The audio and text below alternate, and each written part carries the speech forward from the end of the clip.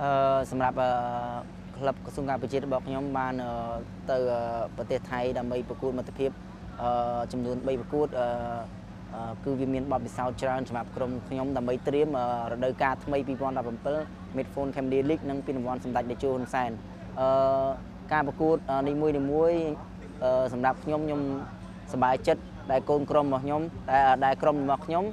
គាត់យល់ពីតាក់ទិករបស់ក្រុមដែលមានកម្រិតខ្ពស់ជាងយើងដើម្បីយើងយកបទពិសោធន៍របស់គាត់មកលេងជាមួយនឹងលីកនៅស្រុកខ្មែរយើងអញ្ចឹងនេះជា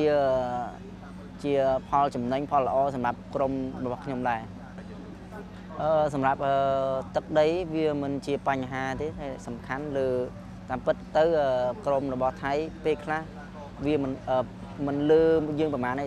ផាកផែកគ្នាសំខាន់លើគូក្បាលរបស់យើង គូក្បាលរបស់យើងការការចិត្តផ្ចង់ការយកចិត្តទុកដាក់ជាមួយនឹងការប្រកួតនីមួយៗអ្នកណាយកចិត្តទុកដាក់អ្នកណា